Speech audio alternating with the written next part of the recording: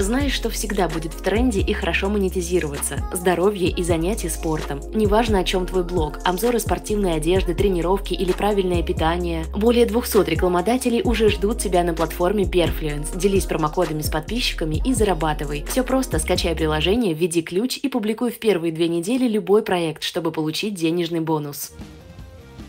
В захватывающем 23-м раунде российской премьер-лиги Краснодар вырвал триумф у пари Нижний Новгород. Этот потрясающий матч завершился в пользу Краснодара с итоговым счетом 4-3. Юбилейный сотый поединок Эдуарда Спортсяна в составе «Быков» стал по-настоящему памятным и историческим. Два его точных удара в рамках этого противостояния стали решающими и ознаменовали его успех. На восьмой минуте встречи его меткий удар в самый угол ворот, после рикошета от Глушенкова, привел к взятию ворот. Второй великолепный гол, который забил Эдуард на 79-й минуте, стал поистине жемчужиной его карьеры. Идеальное исполнение штрафного удара принесло ему победу в этом матче и стало настоящим символом его профессионализма и упорства на футбольном поле. После этого триумфа Краснодар на время занял лидирующую позицию. Счетчик достижений спортсяна пополнился на 10 забитых мячей и 5 результативных передач в течение текущего сезона. Валерий Царукян также внес свою лепту в эту игру, выйдя на поле на замену на 77-й минуте в составе пари Нижнего Новгорода, в то время как Георгий Арутюнян оставался на скамье запасных.